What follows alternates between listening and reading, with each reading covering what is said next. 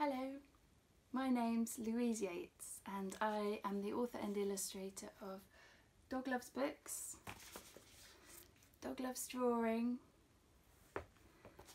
Dog Loves Counting and Dog Loves Fairy Tales. And today I'm going to read Dog Loves Drawing and I have two friends here with me. This is Mr Dudley and this is Ticket and um, hopefully one of them will sit still the whole way through. We'll see which one. Dog loves drawing. Dog loved books. He loved books so much that he had opened his own bookshop. When he wasn't sharing books with others, Dog was reading them himself. One morning, a parcel arrived. Inside was a book but as Dog opened it up, he saw to his surprise that it had no words and no pictures. How curious, he thought. Just inside the cover, he noticed a message from his Aunt Dora that read, To my dearest dog, may the lines you draw open a door to some wonderful adventures. With love from your Aunt Dora. It was a sketchbook Dog knew exactly what to do.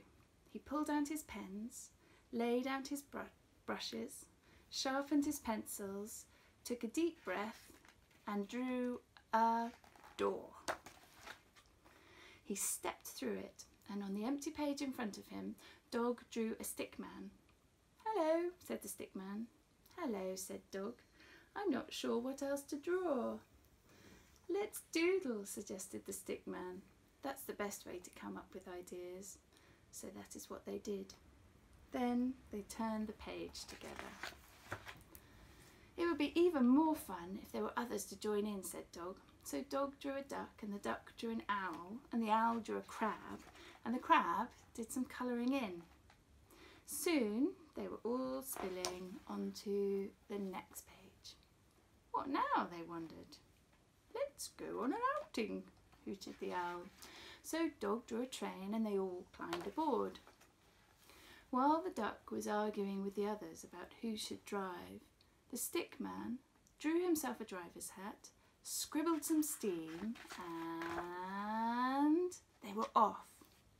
The scenery streaked past them. They were travelling so fast.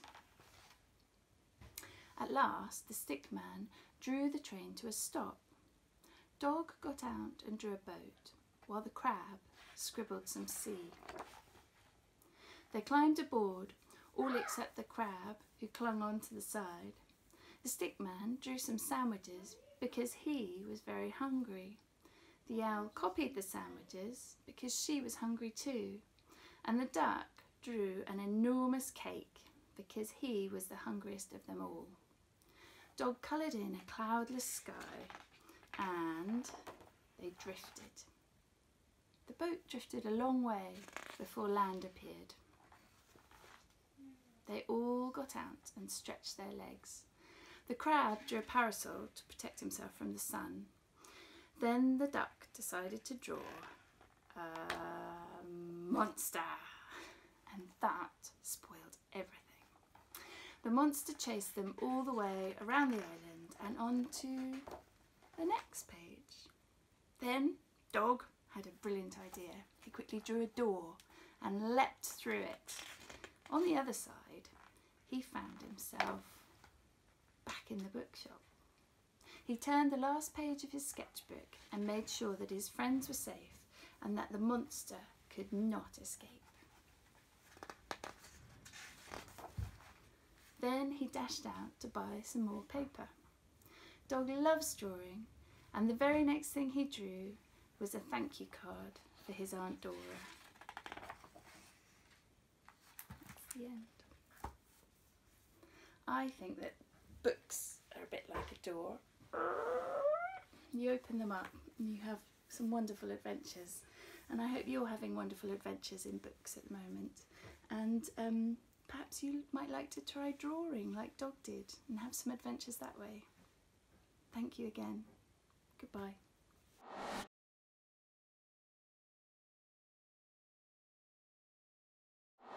Hi everyone, um, I'm the author and illustrator of Dog Loves Books and the, the Dog Loves series and um, today I'm going to draw Dog for you. I thought I'd draw him quickly to start off with just to show you um, how, how I would draw him. Uh, without sort of thinking too much about it because um, I've drawn him quite a lot now. Um, he is based on a Jack Russell uh, dog, um, but he's obviously been tweaked a bit to make him more human. So he's somewhere between a Jack Russell and a human toddler. Um, and he's quite fluffy and he loves reading uh, books.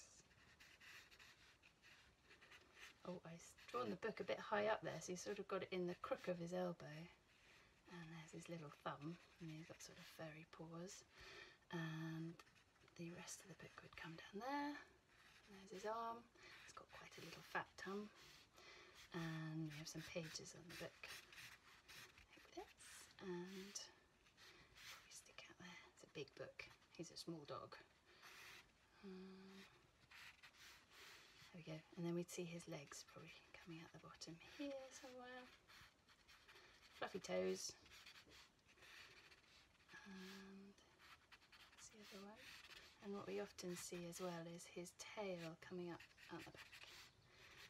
And um, I generally draw him with two kinds of eyes. One is um, an eye like this, which is my favourite one in a way, because that's um, him reading and um, looking down. And I think it's something that we do when we go into our imagination. We tend to stop using our eyes that see the world and we start using the eye in our mind. And we go and see things that we might not be able to see in real life. And uh, and so that's what Dog's doing when he's reading.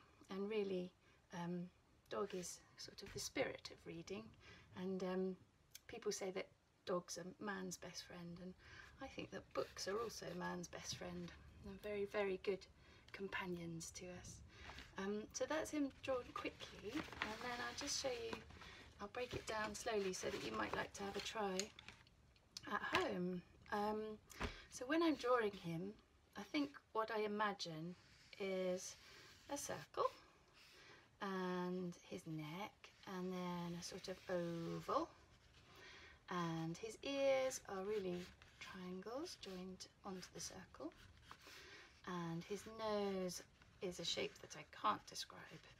Um, and then he's got his arms and his legs and his tail. So if I draw that on the paper here um, here's the circle of his head. Here's his neck and here's his oval shaped body. And he's got a lovely fat tummy and a little scoop in the back of his uh, back there. Um, and there's his tail and his arms. I won't draw him holding a book just to make it simpler. His arms and his legs. So on top of that I'll draw oh I haven't done his ears. So they would be triangle up there sort of flappy pointy triangle you have to imagine them hovering over the top of his head. Here's the top of his head, and that's joined on to the top of his head like that. And then his nose will come out here. I suppose it's something like a little half circle, followed by a bigger circle. There's his smile. And then another sort of scoop like this. And if I start to sort of join him up, you'll see if I go over that. Um, and then bearing in mind that he's hairy, you sort of have to do some fluff. Fluffy bits, some smooth bits where he's brushed his fur maybe, and some less fluffy bits. Um, more fluffy bits rather. Here we go. And there, here's his neck. And Um, he has a sort of little fluffy chest like a Jack Russell dog, and his paws hanging by his side, and his tummy would come in front of that arm or paw, but this arm would come in front of his tummy because we're sort of standing on this side of him, so we'd see this arm, but his belly would get in the way of that arm, so that's how I imagine that. And there's his other arm. There we go, his legs. And here's his tail. And this is the other eye that I do. This is dog ready for action, ever alert and curious and ready for adventure. Um, and really once you've got the those shapes, you can think about dog doing all sorts of the things that he loves. So if I was going to try and draw him um, standing upside down, I'd draw the oval first of his body and his head would be underneath because he's upside down. Um, that head looks a bit small actually, go a bit bigger. He's got quite childlike proportions and babies and children have um, much bigger heads in proportion to their bodies in comparison to adults.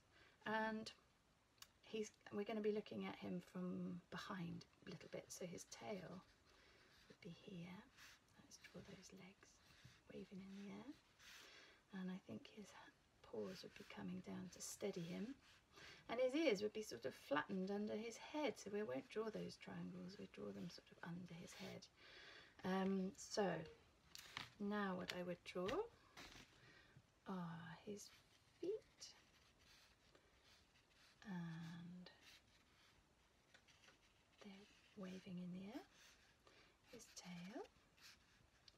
And the scoop of his back. And his one paw would go behind his head. And maybe his fur would be falling. Because of gravity, it'd be almost sort of falling the other way. One ear, two ear, and this paw would come in front of his nose and maybe he's got his paw there under his hand. It's hard to see what's going on, isn't it? And like that. And like this. And then his face would be here. And he might have um, a little smile still, even though it's an upside down smile. Can we just about see his eye? Maybe just about there. He's upside down, standing on his head. Um, when I do the books, I do lots and lots of sketches and practice drawings, and I draw him over and over and over again. And um, I'm often trying to make him look as real and um, three-dimensional as possible. And one other thing that I wanted to show you is just that the way that I use shadow often to think about something as um, being a solid thing rather than a flat thing on a piece of paper. And I just think about where the light falls. So if I'm imagining now the light is shining on dog, if you imagine a spotlight coming from this direction, it would cast a shadow on this side. And that's the thing that makes us know that something's solid and substantial. So uh, his arm would be dark and his book would be a little bit casting a shadow down and he'd be casting a shadow out behind him like this. Yeah, that just gives a feeling of him being in the world with us rather than a flat drawing on a page. And I do the same with the others. So if I imagine the light coming again in this direction um, one ear and the other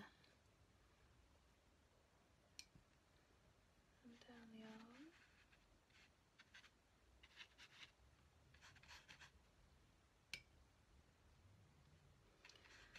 and um, might like to try drawing dog but also once you've got the um, circle and the oval as a sort of body shape, might draw all sorts of characters. You can have use that shape for a, a human, um, especially if it's those similar proportions. It's a sort of childlike proportion. If you wanted to draw an adult, you'd draw the head a bit smaller and the body a bit longer in comparison, and the arms and the legs longer. But there we go. Thank you for listening. Happy drawing. Bye bye.